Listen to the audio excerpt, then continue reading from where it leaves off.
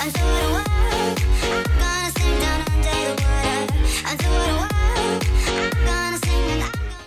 guys, welcome to the first review on the Rerun Watches YouTube channel. I'll be your host Sam, and this is going to be our first video review on the CWC G10. So right now we're structuring the video as kind of part face cam like this, part in-hand, part B-roll. Uh, let us know if you like that. Let us know if you'd like to see less of our face, more of our face, more nice B-roll from Ben. I'm sure you do. Um, and yeah, enjoy the review. So the story behind this particular watch is I bought it from the son of the original owner, uh, who's a member of the Royal Navy. Um, I paid about £80 for it, which I thought was decent at the time, but some people would actually say overpaying. Uh, it came on this super nice uh, green single pass NATO, which is really solid um, and comes with really chunky hardware. So I quite like it. This particular G10 is from the late 80s, so it features a tritium dial, as denoted by the T symbol just below the CWC logo. Newer variations of this watch, which you can buy direct from the CWC website, feature an L on their dial. This shows the superluminova instead of the old-fashioned tritium for visibility at night. In terms of movement, my watch is actually kind of middle of the range. Older examples of the G10 were fitted with the ESA 536.121, which are jewelless, fairly thick movements. Later military models, like mine, had the slightly thinner 7 jewel ESA 955.114.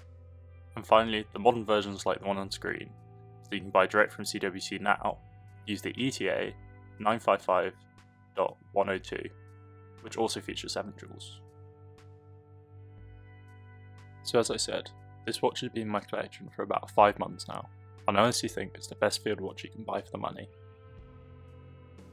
It's a rugged, unrefined tool watch that serves its intended purpose near flawlessly.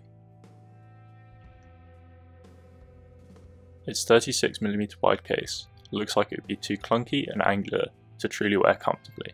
However, it hugs onto my 6.5 inch wrist incredibly well and is easy to forget about. For me, this is just what I need from a tool watch an accurate, unobtrusive tool ready to tell you the time whenever you need it most. Possibly my favourite part of the watch is its dial. It's incredibly legible and sometimes easier to read than my Seiko SKX. I wear my CWC most outside, when I'm climbing, hiking, and when I really just don't want to wear one of my more fragile watches in my collection. I'm safe in the knowledge that it can withstand a lot of abuse, and that I can polish out any scratches I make in the acrylic crystal easily.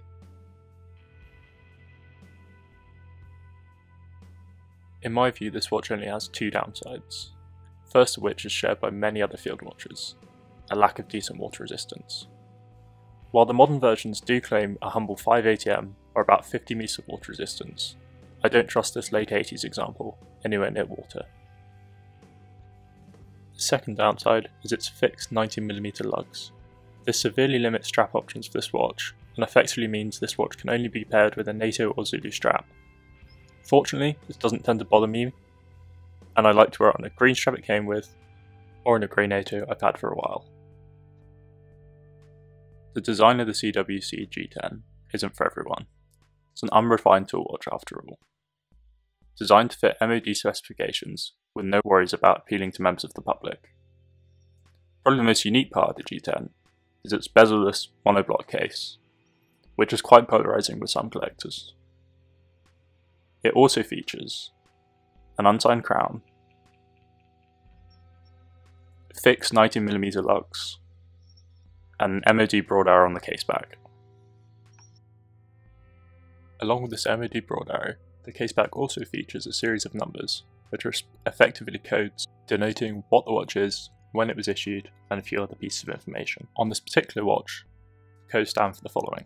0552 denotes that the watch was ordered by the Navy, 6645 is a NATO code for wristwatch, 99 is the NATO code for the United Kingdom, 541 5317 denotes that the watch is electronic or quartz watch, 32774 is the serial number of this watch, finally 89 simply means 1989, the year of delivery to the Navy.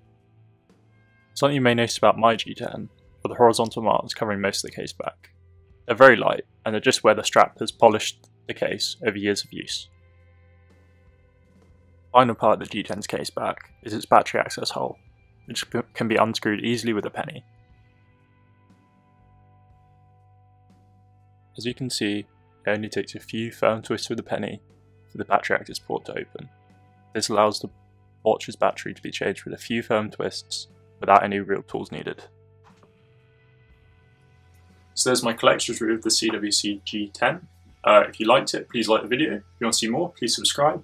If you have any other other ideas for videos, podcasts, discussions you'd like to see us have, please comment below.